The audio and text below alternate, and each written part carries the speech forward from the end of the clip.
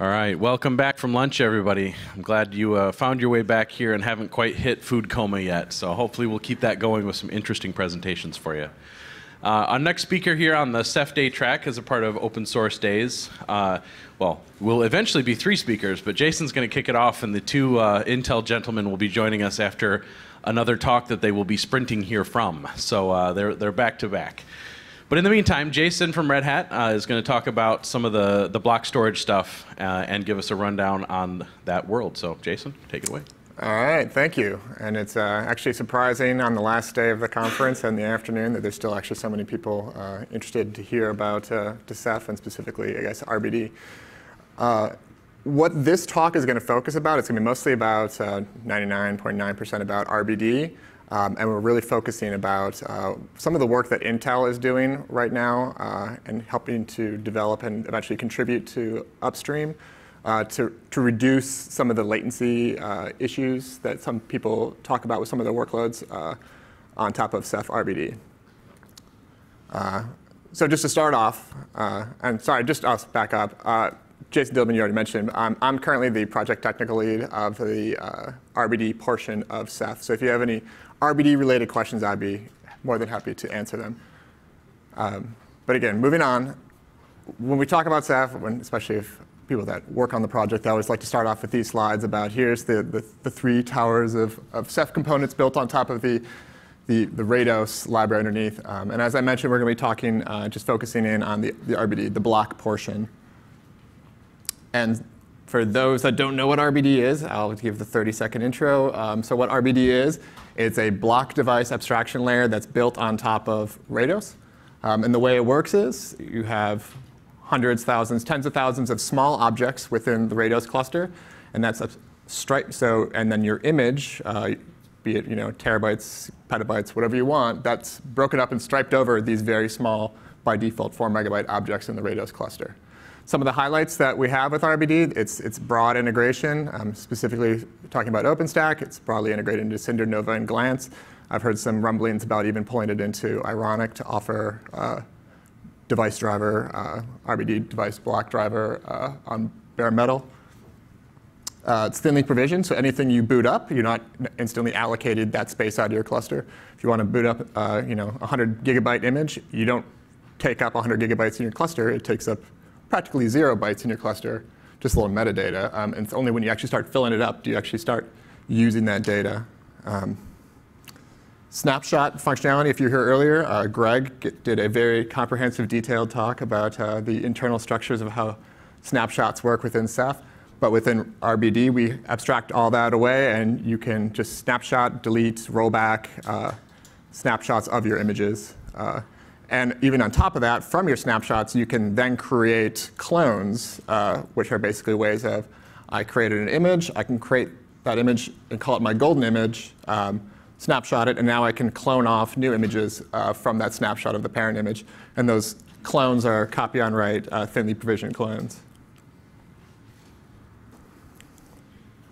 And since this is OpenStack, uh, I always like to point out, I mean, obviously, I think Cinder and OpenStack, they, they widely use uh, RBD, and, and, we love that. And if, as you, as the use case users of, uh, of RBD inside of OpenStack, if you have any problems, questions, or concerns, or any improvement advice, I mean, obviously, we would love to hear from it because we want to make, um, we want to keep this trend going. Of this is the latest uh, from April 2017 of the, the user survey, but you know, you can go back to previous years, and it's very similar results of Ceph RBD uh, dominating uh, the usage and deployment on Cinder. Uh, so before I start talking about some of the problems we're trying to solve with, uh, with, within RBD and latencies, just wanted to go over a high level um, for those that don't quite understand how this RBD architecture works. Um, so we have two different ways to access RBD. We have the, the KRBD driver, that's just a kernel driver that provides a, a block device uh, to your operating system. We also have librBD, and that's, um, in terms of OpenStack use cases, uh, that's pretty much always what you're interacting with. The user space clients being either things like uh, management control plane, things like uh, Cinder, Nova, Glance, or also just the actual consumer of the data, in this case, like Q, uh, KVM, QEMU, that directly integrates with librBD uh, to provide a backing device. So in the case of QEMU, your operating system, your, you know, your VM has exposed a, a block device within it that is whatever size you've configured that image to be. Uh, so but from the point of view of RBD, librbd, it gets requests from QEMU saying, uh, please read or write from this sector, this many sectors. And we translate that uh, just internally, just a quick, uh, we just use our striping logic to say, well, given that it's that, that offset within the virtualized image space, we know how to map that to a, one of those tens of thousands of small four megabyte backing objects in the Rados cluster. And we can push that, uh, that read or write or whatever request to the appropriate OSD for that operation to take place.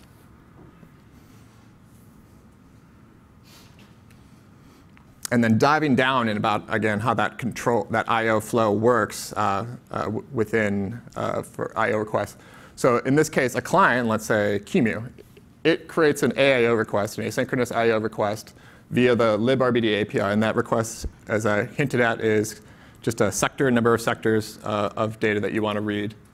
Um, that comes off the QEMU I/O dispatch thread. That actually gets then enqueued into uh, the librbd IO dispatch thread. So once that uh, IO gets enqueued, it, uh, QEMU gets control of its thread again, can continue uh, doing additional work.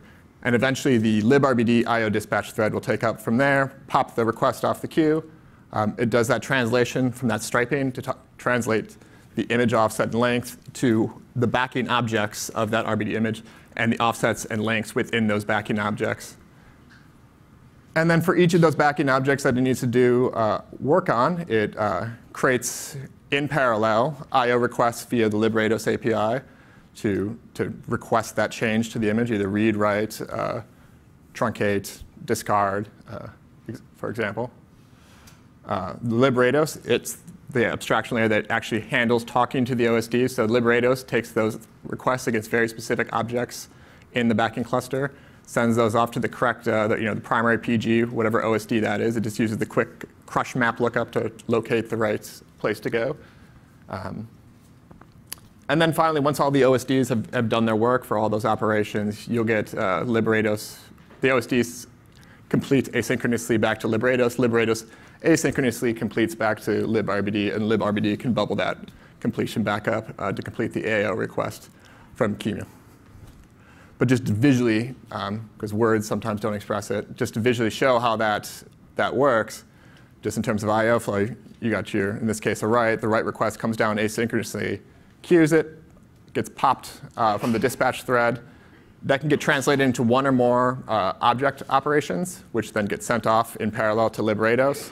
Librados works, uh, sends that in parallel to the cluster. The cluster works on it in parallel sends back completions in parallel. The completions bubble up to our internal uh, lib, librbd AO completion, which would then fire the completion back into uh, QEMU. Um, the striping that I showed here, I showed how an example of you know, one I/O operation translated into three different object operations. Um, so when you're doing normal, I guess, small, small I/O, you're, what you're really going to get into librd is you're going to get, you know, 4K reads, you know, read one 4K sector, you know, at this specific offset. Uh, and what happens is, realistically, that's going to properly align within one backing object. So it's not going to translate into anything more than just one operation that gets sent off at a time. But if I had an operation that came through QEMU, which was, you know, write 12 megabytes, you know, that 12 megabytes is going to span three objects, so I'll get three different object operations going off in parallel to the backing OSDs uh, to complete.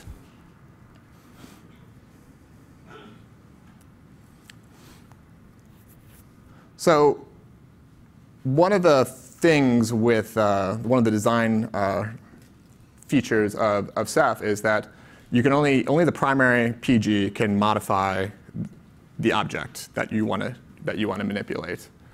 So what happens is if you have a lot of I/O that keeps hammering the same uh, object, you're going to have a lot of operations that keep hammering the same object within the same PG, and all that work basically has to happen, you know, sequentially uh, on the OSD side.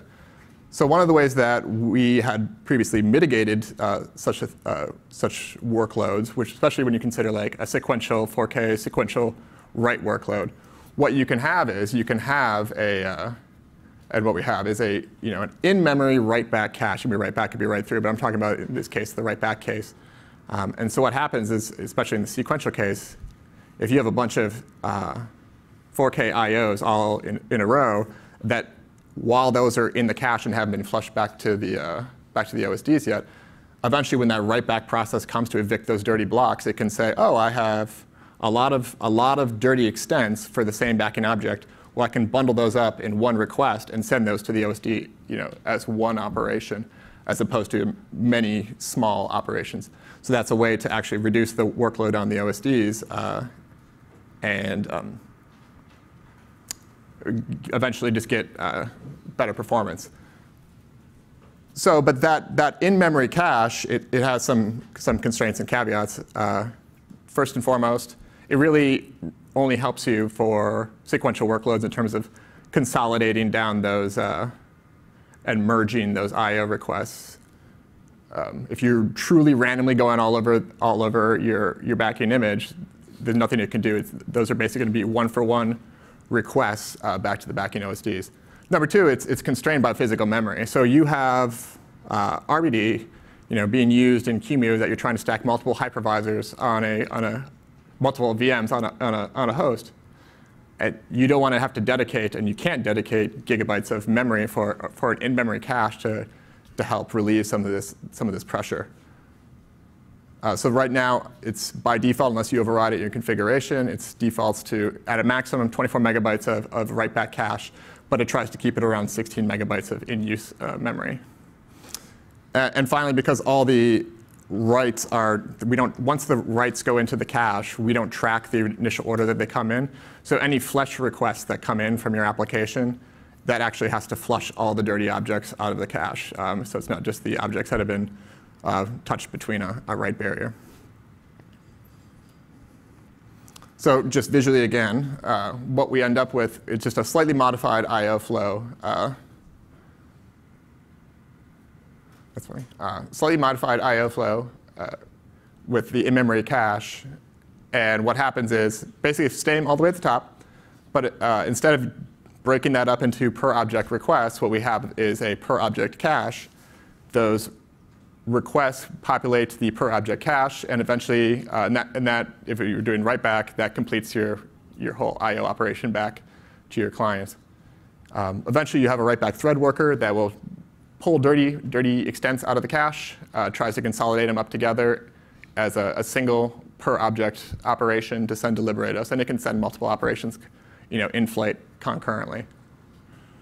Um, I do have to admit there is a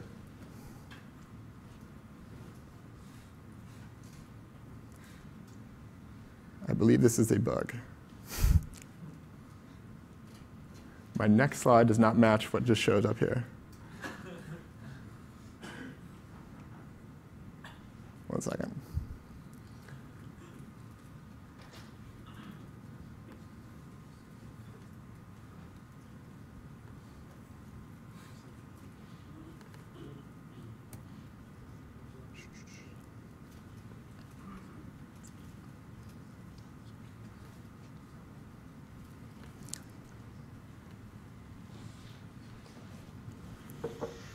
Let's try this. All right.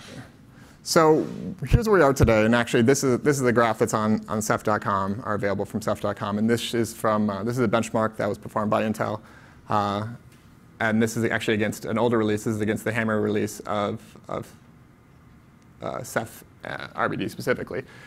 Um, so this is 4K random read workloads, um, and and what you have here is the constraint on the bottom is basically constraining the client workload to only utilize a certain number of threads on the, on the client core. But what this shows you is, on average, um, on, on, on this half of the graph, on the left half of the graph, you can see as you increase the cores, our throughput goes up, not changing the number of clients. So what that tells me, uh, you know, as a developer, uh, RBD developer specifically, that tells us we have work to do in terms of how much we're hitting and utilizing the CPU. Like we want to, we, we have performance gains that we can still get out of librbd.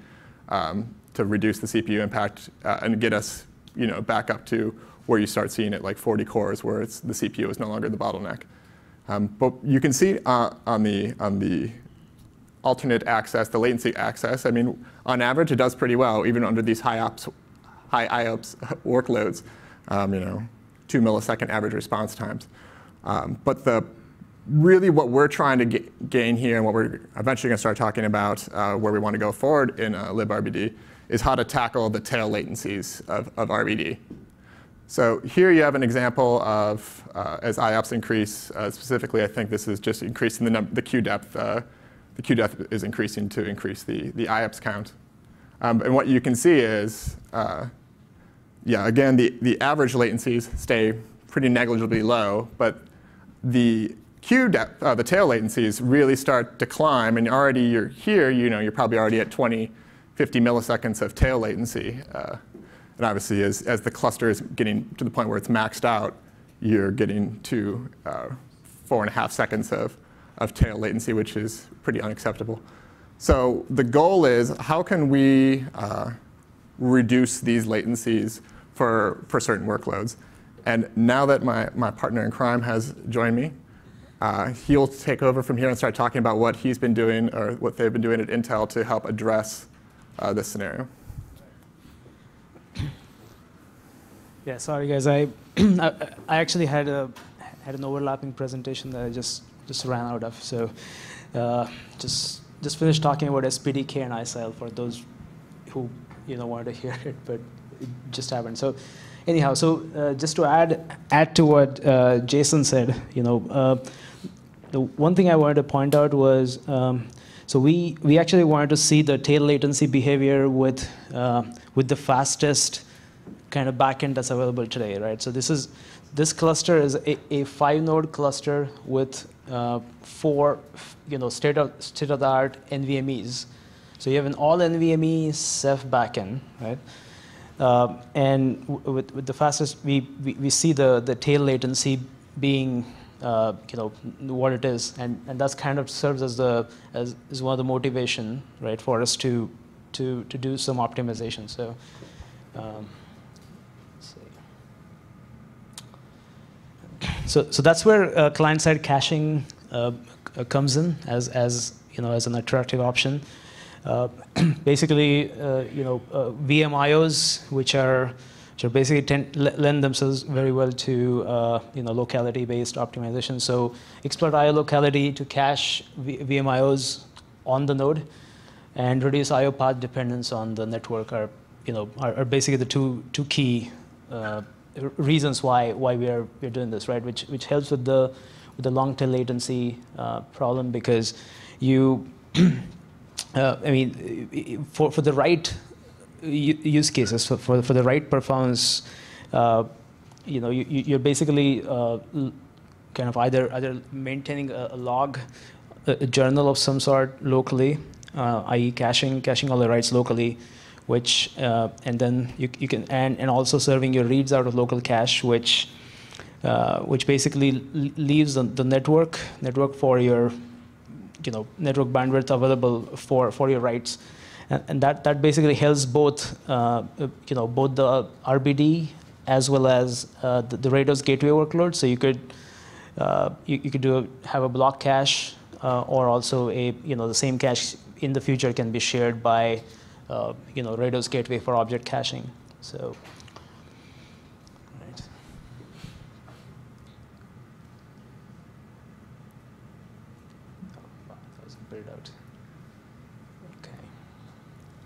So I don't know if you covered the the DRAM based portion already, like some of this stuff. No, I didn't cover the detail of the new cache design.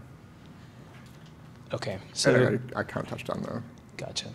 So this is uh, kind of a recap of uh, where we are today with the with the in-memory cache. I mean, some of this uh, Jason already talked to. You know, the the DRAM-based caching is uh, you know kind of has has limits in terms of when you when you reboot the node, you don't have there's there's no warm up. I mean, you, you, need to wait for the cache to warm up to get any benefit, and the cacheability is really uh, you know limited by how much DRAM you have available.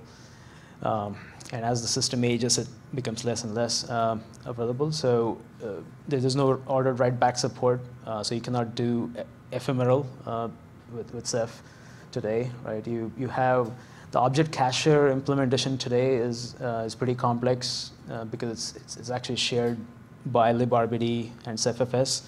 So, so basically, there, there, there are many bot, single-thread bottlenecks that, uh, that we're, we're trying to you know, get around by, I mean, we're, we're basically re rethinking the, this cache as, you know, as, as basically a, a new cache, and that's, that's where uh, this crash consistent write back caching extension comes in. It's a, it's a blueprint we, we have in the works right now, which is uh, extending the, the DRAM based caching to, to use solid state media, where you can have a larger SSD footprint, uh, which is also persistent. So, so you can get, get the nice warm up or kind of behavior across reboots. Um, you, you have ordered write back cache uh, which, and again, this is actually verbatim from the blueprint. That's why it's so, you know, wordy. But, uh, but basically, the, the, the point is that you have an LBA-based read cache and a an ordered write-back cache, uh, which with, with a which is basically a journal that you maintain on the on the compute node on a, on a on an SSD, um, and it it also has a an external you know uh, caching plugin interface. So if you if you wanted to have pluggable uh, caching policy support, like uh, for instance, for let's say Intel has a cache acceleration software, or some other external projects can be used for as as a as an intelligent caching plugin. So. Uh, so we have been working on this blueprint for, for the last couple of months now. Uh, actually, Jason had a, had a great starting point for us last year. Uh, that, that we, we started, started from. So, we, so before I, I jump in and talk about what we have done so far, right, this is, this is actually an, uh, a proof point for, for this cache gets us right, uh, on an, so we, we did an early you know, POC uh, at Intel, the, the small team that we have. Uh, we, we actually were able to get, get about um, 7x better random write, write performance with the write back caching. With a, with a much better latency. And again, uh, a lot of these results are actually with solid state uh, backed Ceph, so they're not your you know uh, standard spinning media NVMe kind of combinations. So, uh, so, so, in that sense, the, the, these are kind of the worst case results, right? So with with spinning backends, you're probably going to see a lot lot better throughput uh, and latency. And we also compared it to the current cache tiering, I mean, uh, which, which is being reworked, of course. Uh, but we, we also had, had a, you know, I just wanted to add that as a reference point, uh, kind of to say that on the cluster side, we, we, have, we still have work to do in addition to the client side. And uh, the cache will actually enable us to get better performance to bring more workloads to, to Ceph and RBD.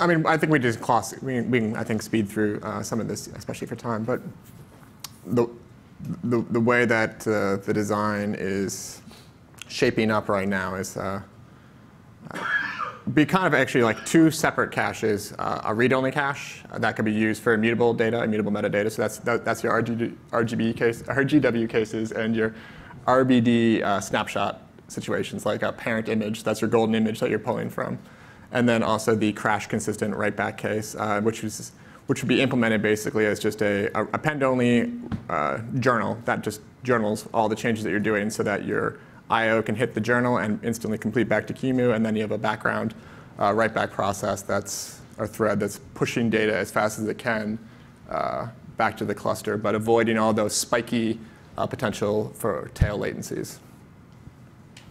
Okay, and, right. I think that's what then shared read cache. So yeah.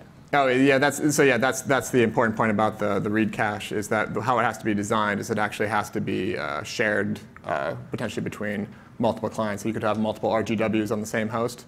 Um, so it doesn't make sense to cache the same object n number of times. It'd be great if you could uh, reuse that cache data and have a consistent hot uh, object policy that's shared between all the RGW instances that are running. And then similar with the RBD uh, parent image, that's, that's you know, acting as the golden image for multiple uh, RBD images. they should be able to just write that image once as opposed to having to each have their own copy. Each instance of QEMU have its own cached copy of, a, of the golden image. Okay, so so talking about, I mean, we, we actually have a pull request up um, for, for review already, which uh, we are refreshing as we go. But what we have up there is a, it's, it's, it's a file-based cache.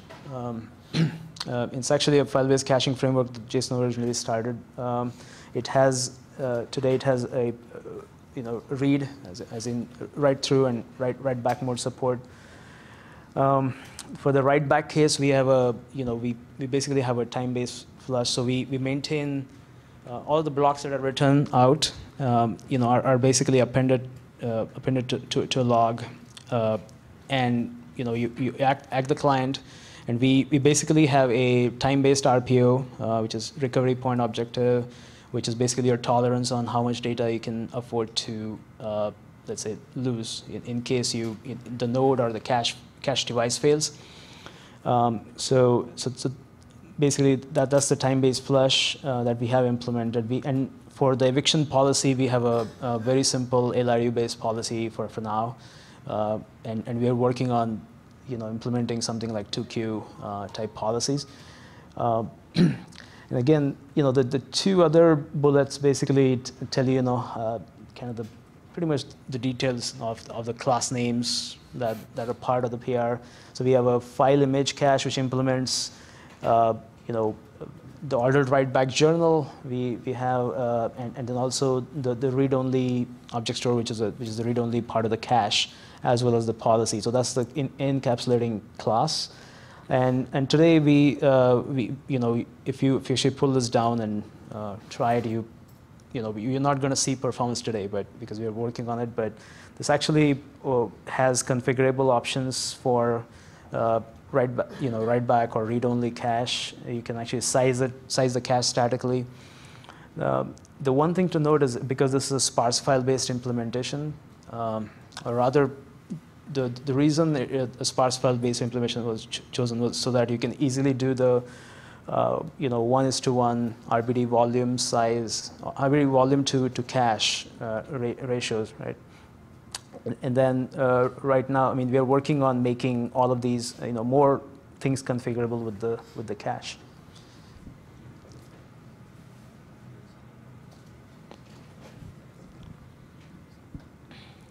So, are there any questions so far on the on the design part at all? If you do have questions, please stand up and use the microphone. We are recording these for posterity. All right. So, uh, so from the in, in-memory cache, you know the, the okay. All right, all right. So a couple of quick questions on the blueprint that you shared for the caching stuff. So first, uh, you showed it for the RBD. Do other gateways like the POSIX one, CephFS, would be able to reap the benefits of that? And the second one in your diagram, you showed SSD being used on the client side uh, for the caching. Can some flavor of NVRAM, like a PMEM on the client side, uh, be also used, or is SSD absolutely mandatory? The answer to the second question is you can, you know, in, in the future, the, the goal is to actually be, be able to use, a, you know, not any, any kind of non-volatile memory. It doesn't, doesn't have to be SSD only, but A- Anything, in- I in mean, terms of- any, anything you put a file system on, right? So, yeah, there you go. Yeah. so yes. So you can you could actually have a um, yeah like a persistent memory uh, where you, I mean there's certain flavors that'll let you carve a block device out of it, which will be plug in. So but as there'll long be, as any kind of memory that's going to let you carve out a block device, that's going to work? yeah. Okay. Yeah. And what about the first one? Can CephFS also benefit from it, or is it RBD specific only? I mean, in, in theory, there, I don't think there's anything that would stop the CephFS cl- like user space client from uh, benefiting from that. But if you're talking about like the kernel client, The kernel client. then this is a user space, and um, Kernel-less page The- then yeah, n- no in that case. Okay, thank you.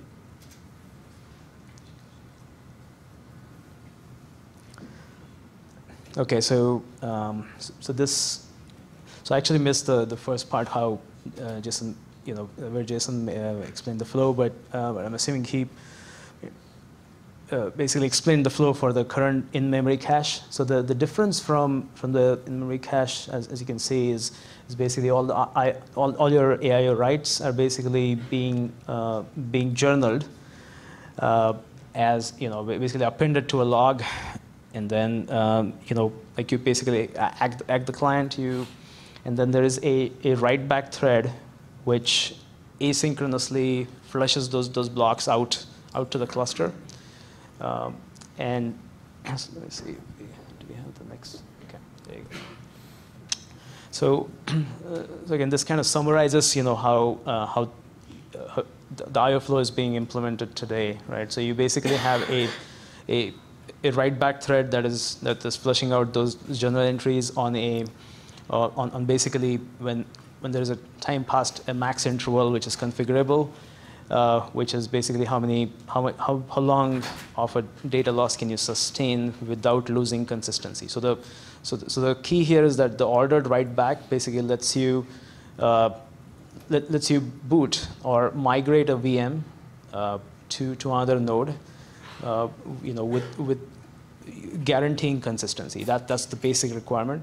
But, but, but your data could be little stale, right? So, so that's why the uh, that's why the, the last bullet basically where it says backlog time past maximum interval. That's that's configurable interval that you can sustain, uh, or uh, you're comfortable losing a, a few future data data bytes from. Uh, and then the sec in the second bullet to add to what the write back thread can do, you basically if you if you have some uh, partial writes, you know multiple writes to the same block, you could you could basically consolidate those, uh, you know, and before writing before writing the, the blocks out to the to the OSD. Um, and and the other mode, right, which which is read cache, which is is basically uh, we you know we we are actually working on a uh, shared cache policy. Uh, sorry, uh, basically a, a, daemon that implements a shared cache policy, uh, which is you know, which, which basically serves as a, uh, a, me a, mechanism to, you know, to communicate between, uh, between multiple clients because the, the cache allocation, we, you know, we, we, we want it to be more cooperative in the sense that, uh, you know, if you actually have a, a cacher as a service or, or, or an, a, a, central entity that is doing all the ca block caching for you, that could become a, you know, basically a hotspot or single point of failure this, this is a daemon that kind of serves as uh, only, you know, takes care of the control path and kind of gets out of the way sort of a thing. Um, let's see. Anything else you want to add to that? I guess. Yeah. Yeah, and like, like the last bullet says here, right? Uh, there's we we actually we, we've been working on this design to be to have no uh, no hotspot or bottlenecks. So that's why the, all the I/O uh, is basically directly to a, a client-specific cache file. You know, only the control messages are basically being passed with between, let's say, an RBD client, which is a virtual machine, and, and, and the daemon, which, which owns the, you know, sort of the cache policy.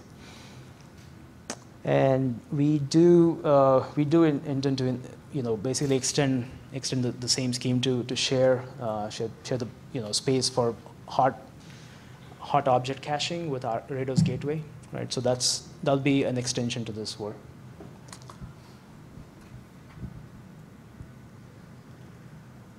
Yeah, so so what we what we have today uh, as part of the PR uh, pull request actually uh, you know works functionally. We, we still have several performance improvements and functionalities to add. So write coalescing is going to be a big big performance improvement.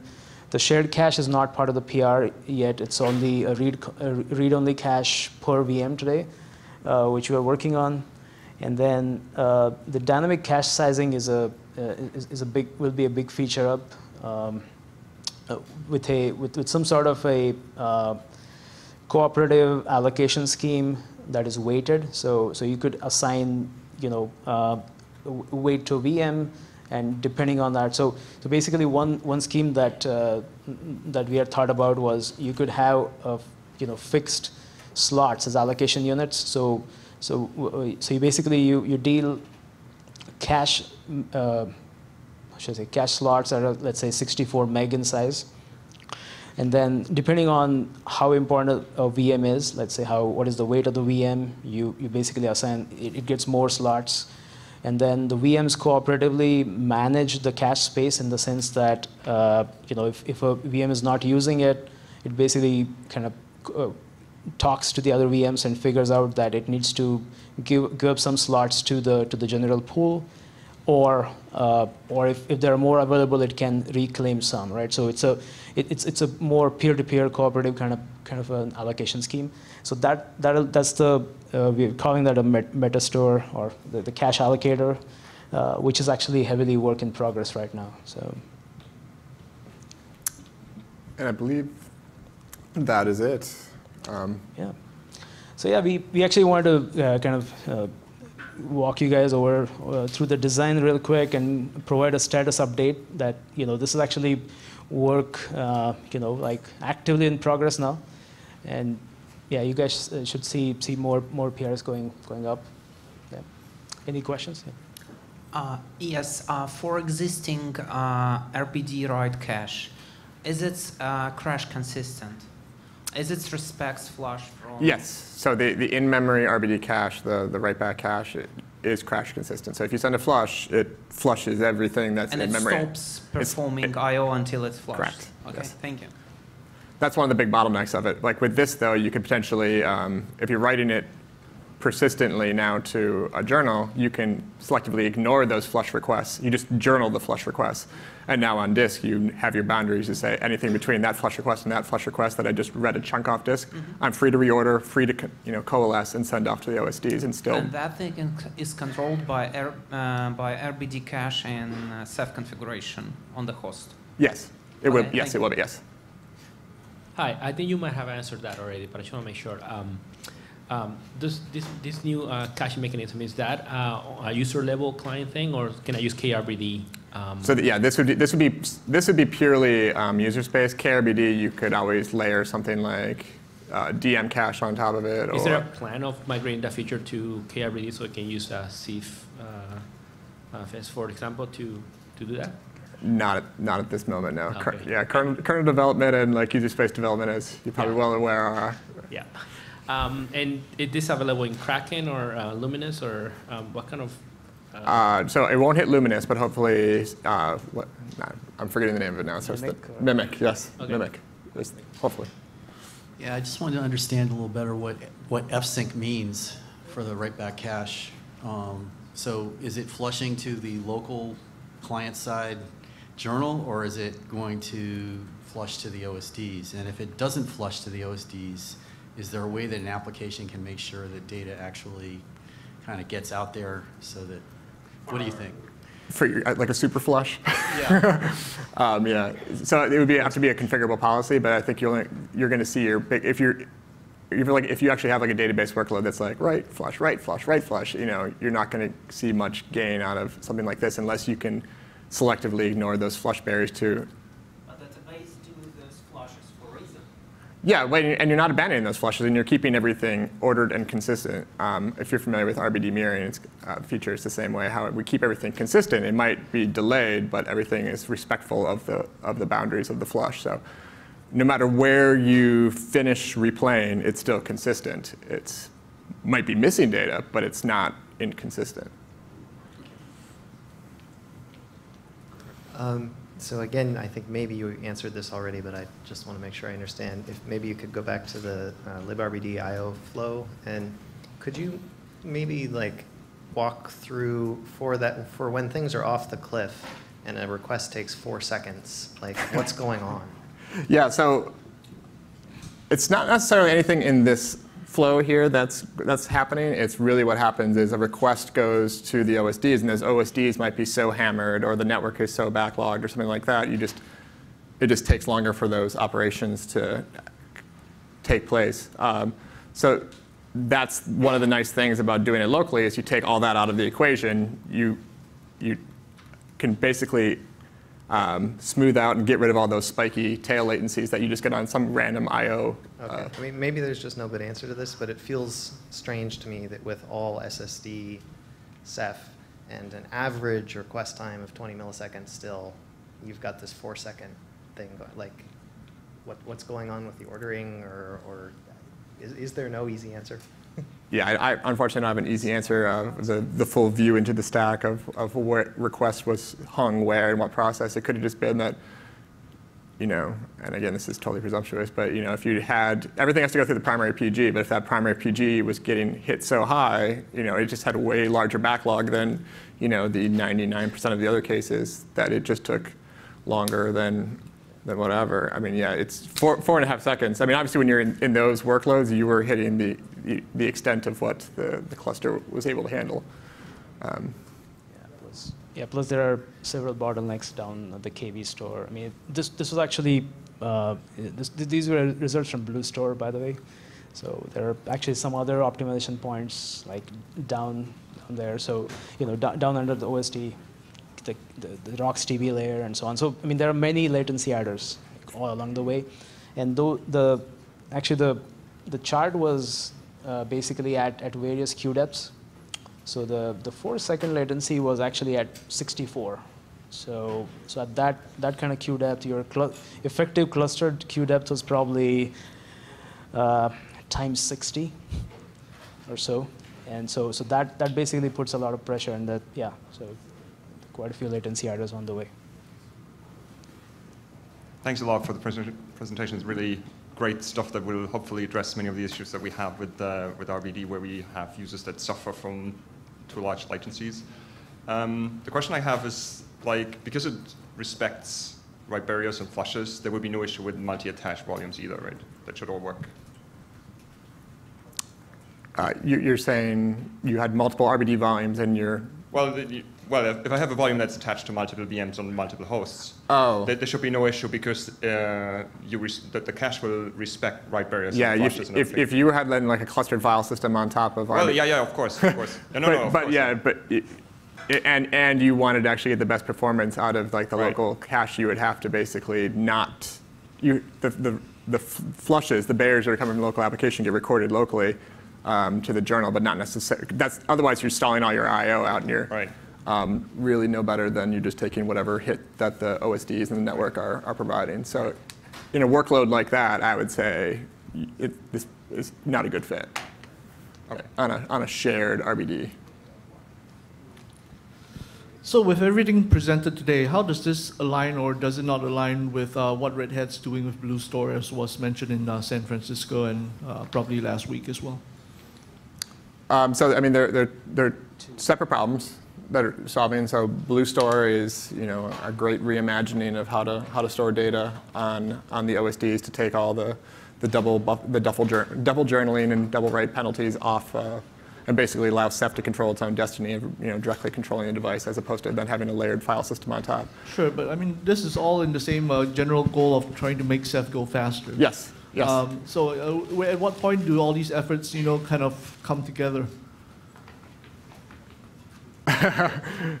Get, eking out more performance is a never-ending goal of any like system, right? So it's like we'll, we'll take our performance wins wherever we can get them, as long as there's a use case that actually makes sense for it, right? Right. I mean, every, everything happens at, at a cost to something else.